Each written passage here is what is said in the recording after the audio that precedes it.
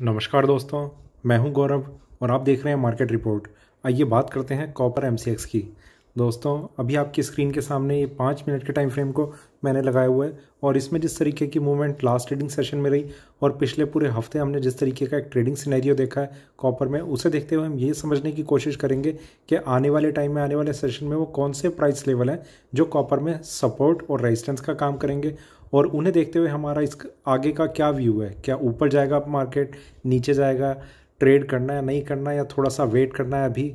तो उन सब चीज़ों को हम समझने के लिए शुरू करते हैं पाँच मिनट के टाइम फ्रेम पे कॉपर एमसीएक्स का चार्ट दोस्तों लास्ट ट्रेडिंग सेशन में हमने जिस तरीके का एक ट्रेंड देखा, मैं बात कर रहा हूँ फ्राइडे की। फ्राइडे को मार्केट ने एक गैप अप ओपनिंग के साथ अपनी शुरुआत करी और वहीं से मार्केट में एक सेलिंग प्रेशर बना रहा। प्राइसेस बिल्कुल भी ऊपर नहीं आ पाए और वहाँ से एक करेक्शन मोड पूरे टाइम में बना रहा। यहाँ पर थोड़ी सी इंट्राडे में ये कोशिश हुई थी कि थोड़ी सी एक रिकवरी दिखाने की कोशिश करी थी। प्राइसेस ने चार पाँच रुपए की, पर वहाँ से फिर एक सेलिंग और प्राइसेस लगभग अपने लोएस्ट पॉइंट से थोड़ी सी ही रिकवरी दिखा के 694.10 पे लास्ट ट्रेडिंग प्राइस करके ख़त्म कर दिया। एक इस तरीके का ट्रेंड रहा कि मार्केट में बहुत ज़्यादा तो नहीं, एक पाँच छः रुपये की एक करेक्शन देखी गई है ओवरऑल अपने ओपनिंग प्राइसेस से। तो कहीं ना कहीं एक सेलिंग प्रेशर जो है, वो बना रहा है और ये सिर्फ़ कॉपर में नहीं, ये बेस मेटल प्रेशियस मेटल इन दोनों सेगमेंट पे हमने देखा है। एनर्जी सेक्टर थोड़ा सा एक अभी साइडवेज ट्रेंड को लेके, पर फिर भी एक स्ट्रेंथ के साथ अपने आप को होल्ड किए हुए ऊपर की साइड में। तो कहीं ना कहीं मेटल पैक जो है पूरा का पूरा वो बहुत बुरी तरीके से हिट हुआ है लास्ट वीक जिसमें कॉपर गोल्ड सिल्वर और बाकी बेस मेटल भी हैं। बहुत अच्छे से उन्होंने एक डाउन साइड का एक टर्न लिया हुआ है। ख़ासतौर से कॉपर में वो लेवल ब्रेक हुए हैं जो बहुत टाइम बाद मतलब एक चार्ट पे होता है कि कितने टाइम बाद ये गिरावट देखी गई है। देखिए ये चीज़ मैं अभी आपको इस तरीके से एक्सप्लेन नहीं कर सकता पर आ, कुछ टेक्निकल स्टडीज़ में इस तरीके की चीज़ें हैं कि अब एक बियरिश जोन में एंटर कर लिया है। कॉपर ने एक अब नेक्स्ट सपोर्ट कहाँ पर है? हम सिर्फ़ उस चीज़ को डिस्कस कर सकते हैं। ठीक है थोड़ा सा और आगे चलते हैं। पंद्रह मिनट के टाइम फ्रेम पे। और उन चीज़ों को भी अभी हम डिस्कस करेंगे कि क्या हमारी स्ट्रेटजी रहनी चाहिए। यहाँ पर अगर हम बात करें तो प्राइसेस में एक स्ट्रेंथ यहाँ कंसल्टेशन थोड़ा सा एक करेक्शन और उस करेक्शन को मार्केट ने और आगे के लिए कंटिन्यू करा। 700 के नीचे finally price finally price sustain करते हुए हमें नज़र आ रहे हैं। तो ये एक इंपॉर्टेंट साइन है इस चीज़ का कि कॉपर में जिस ट्रेंड को हम एक्सपेक्ट कर रहे थे पिछले कुछ टाइम पहले, देखिए तब कॉपर का प्राइस था सेवन हंड्रेड एट्टी आपने अगर मेरा कॉपर का लास्ट शायद तीन चार कॉपर में, मैं वीडियोस बना चुका हूँ कॉपर में उस चीज़ के। तब 680 पे था। तब मैंने इस चीज़ का बताया था कि कॉपर में जो हाई प्राइस था, वो अब लग चुका है। अब प्राइसेस में और ज़्यादा स्ट्रेंथ इतनी बची नहीं है। और आने वाले टाइम में हाई ब्रेक करना तो बहुत ही ज़्यादा मुश्किल रहेगा। प्लस प्राइसेस जो हैं, अब नीचे के लिए अपना एक ट्रेंड रखेंगे। और उस टाइम मैंने एक चीज़ और बताई थी। इस तरीके का एक इंडिकेशन उससे पहले भी आया था। ये चीज़ अभी और थोड़ा सा आगे डिस्कस कर लेंगे। एक बार थोड़ा सा जल्दी करते हैं। एक घंटे के टाइम फ्रेम पे अगर हम देखें तो प्राइसेस नीचे कंसोलिडेशन थोड़ा सी ऊपर, वहाँ से फिर एक डाउन साइड और बिल्कुल लोएस्ट पॉइंट पे आकर मार्केट अभी अपने आप को यहाँ पर क्लोज कर रहा है।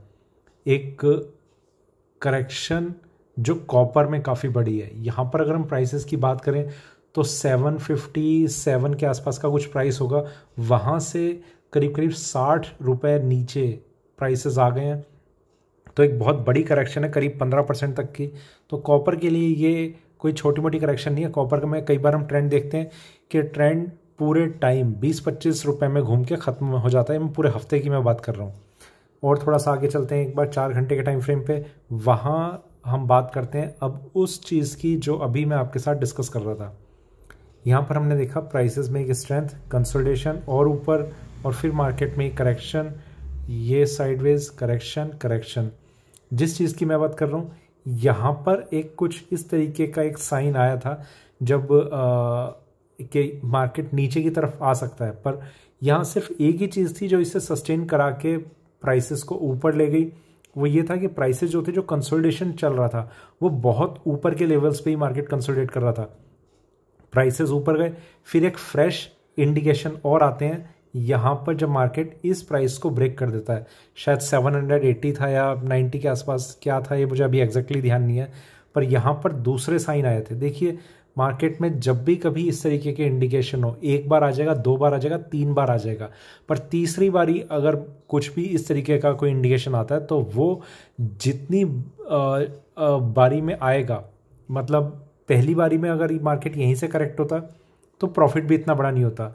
यहाँ से करेक्ट हो रहा है ज़्यादा स्ट्रेंथ के साथ होगा और ज़्यादा कंफर्म रहेगा। ठीक है एक और हो सकता था कि इसके ऊपर मार्केट इस चीज़ का साइन ले और वहाँ से मार्केट करेक्ट करे पर ऐसा हुआ नहीं।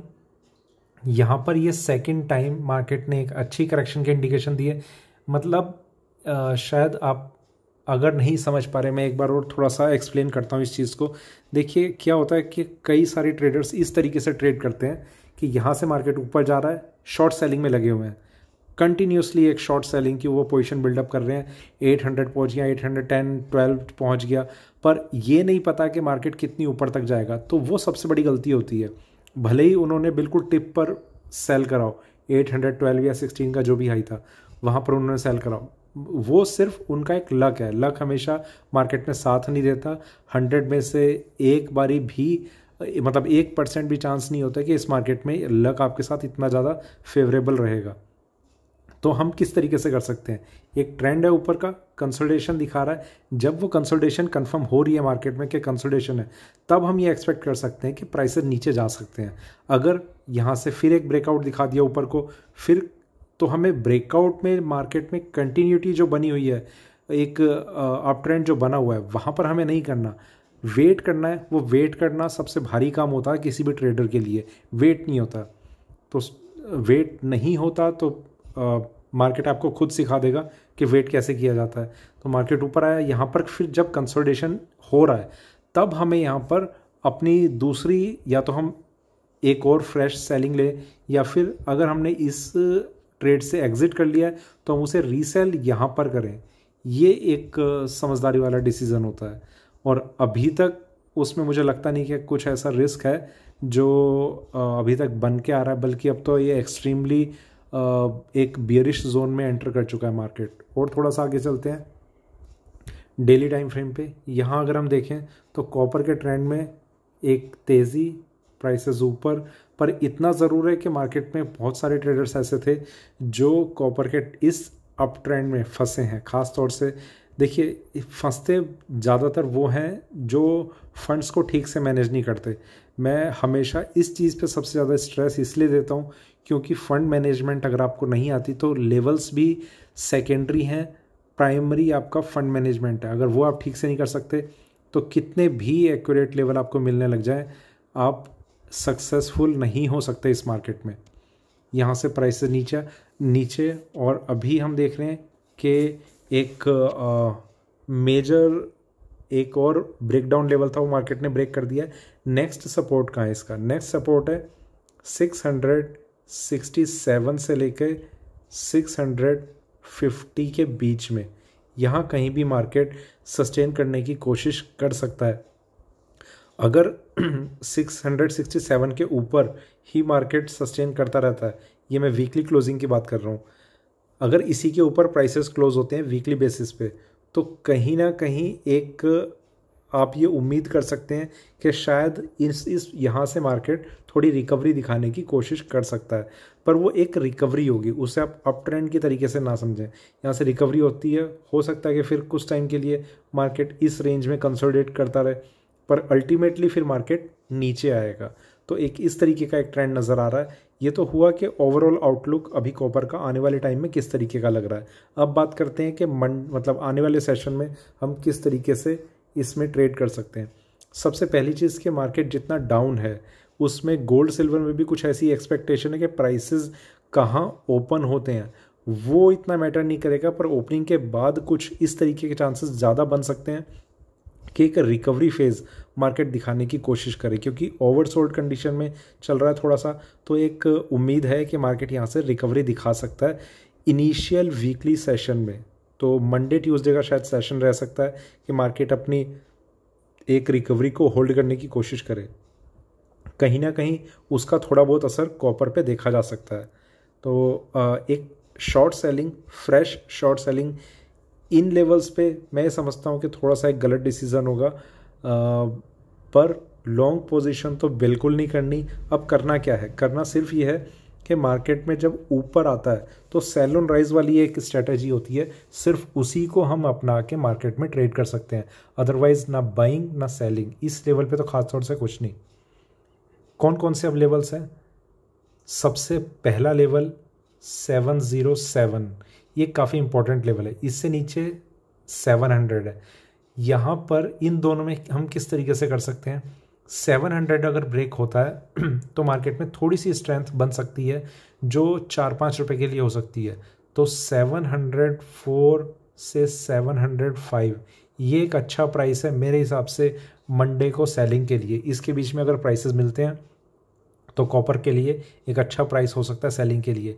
एक रेजिस्टेंस जहाँ पर नज़र आ रहा है अच्छा सा, वो सेवन हंड्रेड सेवन से सेवन हंड्रेड नाइन पे ये काफ़ी स्ट्रॉन्ग एक रेजिस्टेंस जोन है तो इसके ऊपर मार्केट अगर आता है सस्टेन करता है सेवन ज़ीरो नाइन के ऊपर तो ही इसमें और ज़्यादा स्ट्रेंथ बन पाएगी। अदरवाइज़ इंट्राडे के लिए आप इस रेंज में अगर शॉर्ट सेलिंग करते हैं और इसके ऊपर का आप एक स्टॉप लॉस रख लेते हैं सस्टेन करना ज़रूरी है। ठीक है तो वो एक अच्छी कॉल लग रही है अभी को देखते हुए। बाकी इस चीज़ पर भी डिपेंड करेगा कि मार्केट ओपन कहाँ पर होता है। बहुत ज़्यादा नीचे हो रहा है, बहुत ज़्यादा ऊपर हो रहा है या फ्लैट ओपनिंग हो रही है। तो उस चीज़ को देखते हुए भी हम थोड़ा कंसिडर कर सकते हैं। पर फ़िलहाल जिस तरीके का अभी अगर हम इसे करंट मार्केट मान, माने कि करंट मार्केट यहीं पर चल रहा है तो ये एक अच्छे लेवल है और इस स्ट्रेटेजी से हम काम कर सकते हैं। और ऊपर में कौन कौन से लेवल होंगे? इससे ऊपर एक लेवल है सेवन हंड्रेड ट्वेंटी वन जो इसके बाद का एक रेजिस्टेंस लेवल रहेगा। इसके ऊपर है सेवन थर्टी फोर पर हम यहाँ पर भी अभी मार्केट आता हुआ एकदम से लग नहीं रहा तो इन्हें बात करने मतलब इन पे डिस्कस करने का भी कोई इतना बड़ा फ़ायदा नहीं है। एक और लेवल है इसके ऊपर सेवन सिक्सटी टू ये फाइनल रेजिस्टेंस है। सेवन सिक्सटी टू जब तक मार्केट में ब्रेक नहीं होता, कोई भी एक अप ट्रेंड वापस आना कॉपर में, वो एक तरीके से इम्पॉसिबल जैसा है। इम्पॉसिबल तो मार्केट में कुछ भी नहीं है, पर इम्पॉसिबल जैसा है। तो ये प्राइस जब ब्रेक होगा तो ही मार्केट में एक स्ट्रेंथ एक अप ट्रेंड बन पाएगा, पर प्रोवाइडेड कि ये ब्रेक हो। ठीक है? उससे पहले ये दो लेवल्स काफ़ी इंपॉर्टेंट नज़र आ रहे हैं और इनकी किस तरीके से इंपॉर्टेंस है, ये मैंने अभी आपके साथ डिस्कस कर ही लिया। तो दोस्तों, ये था मेरा कॉपर एम सी पे अभी का वीडियो वीडियो अच्छा लगे तो लाइक करें शेयर करें, बने रहें मेरे साथ, देखते रहिए मार्केट रिपोर्ट धन्यवाद।